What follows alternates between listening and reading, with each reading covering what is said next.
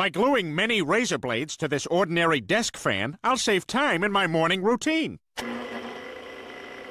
Ah! Lois, I done it again!